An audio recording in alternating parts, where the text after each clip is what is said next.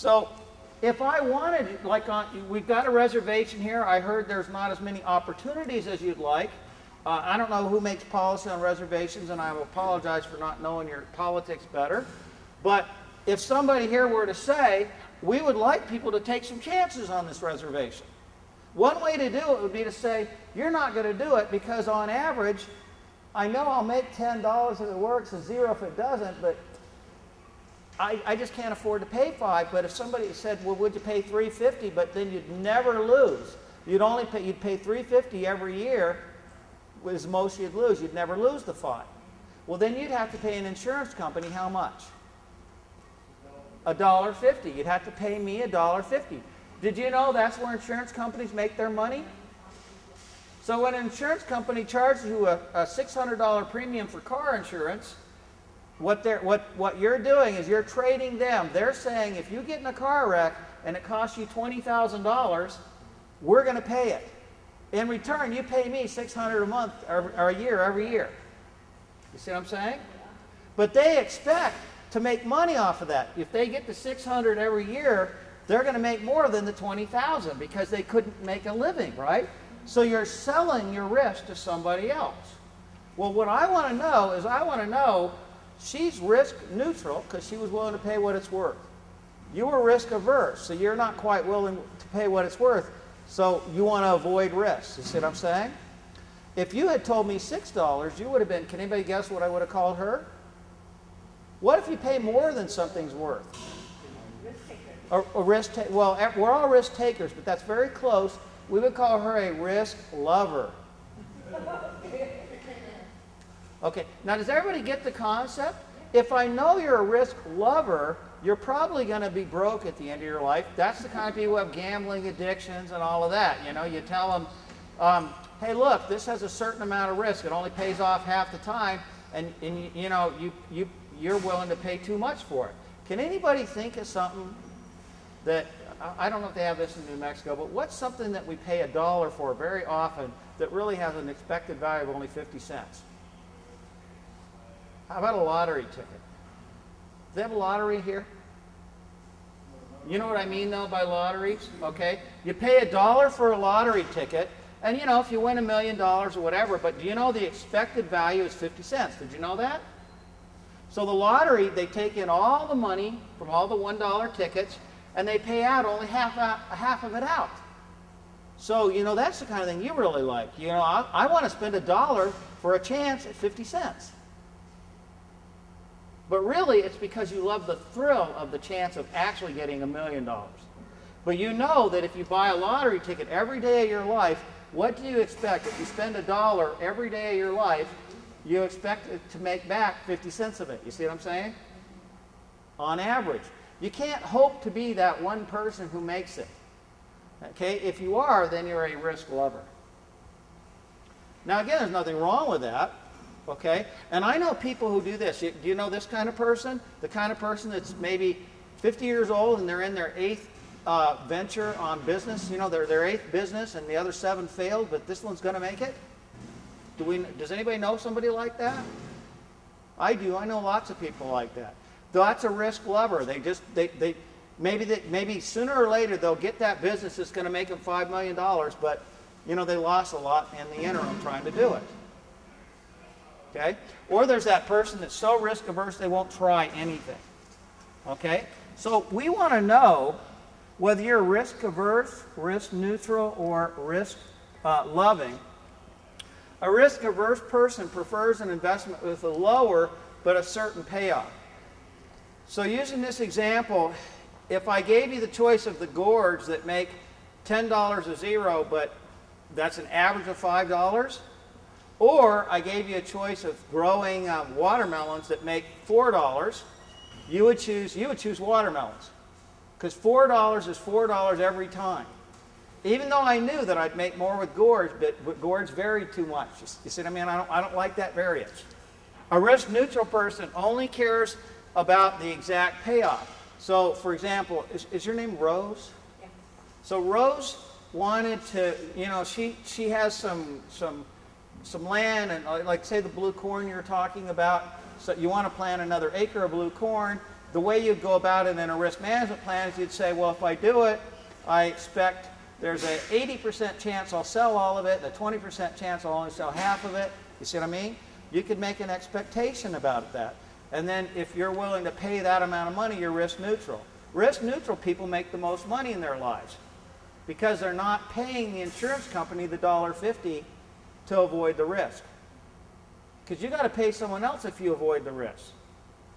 If any of you raise cattle, if you take your cow and you put it in a feedlot, have you ever heard of retained ownership where you know you can keep the cow and pay them money and they'll feed the cow and then when they sell the cow to the to the to, to be slaughtered, you get all the money? Have you heard of that kind of deal?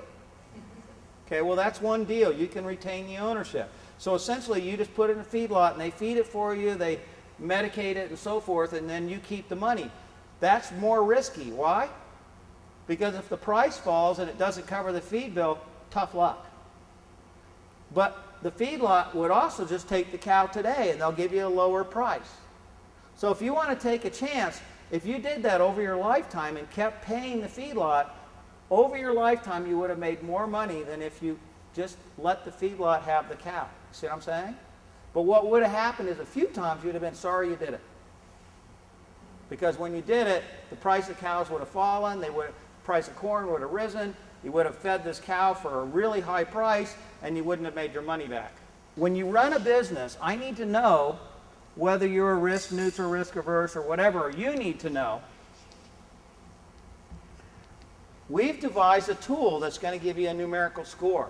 And I'm going to ask each of you to go through the tool, and it's just like the coin toss, okay? So, Rose, if I say if it's tails, it's zero, if it's heads, it's $10, then it's expected to be worth what?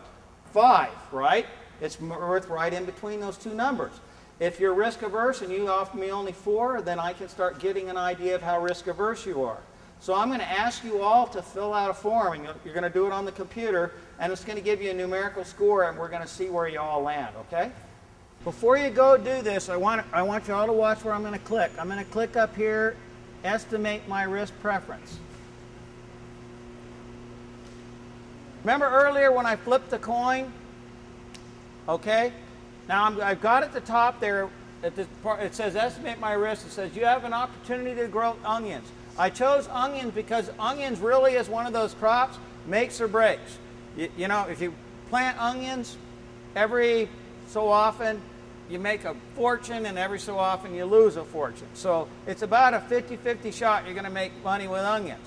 Now remember, by Rose telling me she'd pay $5, and what's your name? Darcy, that's right. Darcy told me he would pay 350 By knowing those two numbers, I know a little bit about you, but one question isn't quite enough for me to know enough to be, be sure whether you're really more risk averse than she is. Okay? So what we're going to do is we're going to have a similar thing up here. Now notice line number one up there, it says you have a decision uh, if, if you plant onions and there's no crop, which could happen, in other words, the weather could be bad, you're going to make zero. If there is a crop, you're going to make 100. Now, isn't that a lot like the coin toss? What's the expected value then? Do you see it there? Expected payoff? $50, right? What I want you to do is take that slider bar uh, uh, to the right, and I want you to move it. And remember, uh, whoever's at the computer, one of you do it, and then the other three do it after that person, okay? So Rose, you can do it after, and Darcy, you can do it after these two, which I don't know their names. Sorry, sorry. So I'm, now watch what I do. I'm going to say that I would pay $46 for that bet. That makes me what? Risk averse, risk loving, or risk neutral? Risk averse because I'm not quite willing to pay $50. That would have been like $4.60 in the example we did earlier. It's worth 50, but I'm only willing to pay 460. Does that that makes me a little bit risk averse, okay? Now, as everybody slid the bar to what they'd be willing to pay for that first bet. Now, on the second row, the numbers have changed. Now notice in my case, it's between 0 and 46 for the second choice how, the average of that would be 23. So if I flip a coin and flip a heads, I get $46. So my average would be $23. Okay?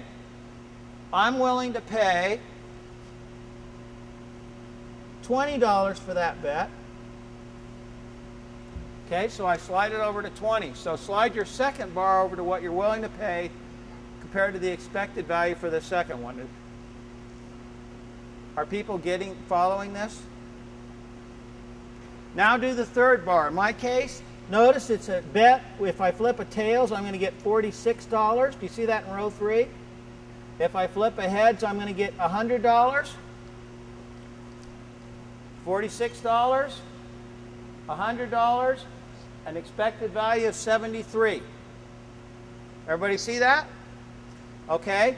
Well, how much would I pay for that? Man, I'll pay a little more for that.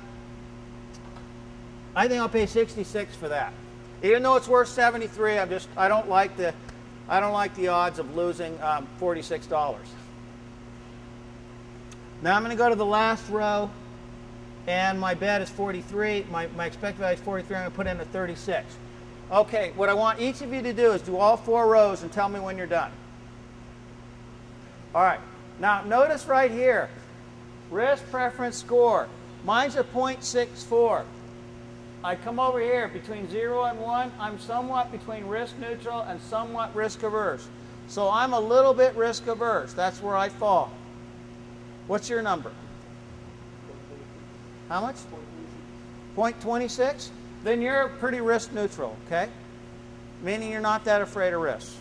The way I utilize this is if I'm an insurance company, I can take more money away from you than I can you. Does that make sense?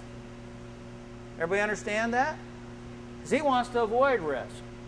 Okay? Or, but the other way to think about it is he should go into a less risky business than him. Or if you have a risky business, you should try to get rid of as much risk as you can out of that risky business. Farmers aren't very risk averse or they wouldn't be farmers, right? What would they be? They'd be in some cushy job that was always the same. So it's not very surprising you're not very risk averse. Now I'm not going I'm going to let you do it on your own if you want to, the rest of you in the interest of time. But I want you to know too, if you go to the website, we also have a quiz you can take. It'll give you another score because no score is perfect. You know, in other words, these measurements aren't very accurate, so you need to do it as many ways as you can. In the book, we list a website, and I think for only $16 you can take this test, actually designed by a psychologist, and they'll tell you how risk averse you are.